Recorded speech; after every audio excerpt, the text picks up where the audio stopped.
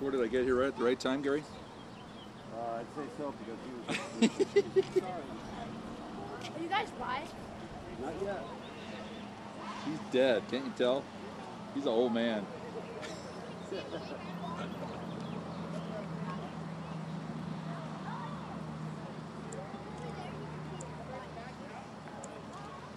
When are you guys live?